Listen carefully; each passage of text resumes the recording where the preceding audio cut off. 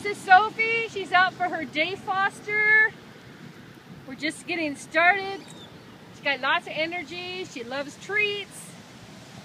She knows how to sit on command, which she's already doing. Yes, Sophie! Hi, pretty girl. Good girl.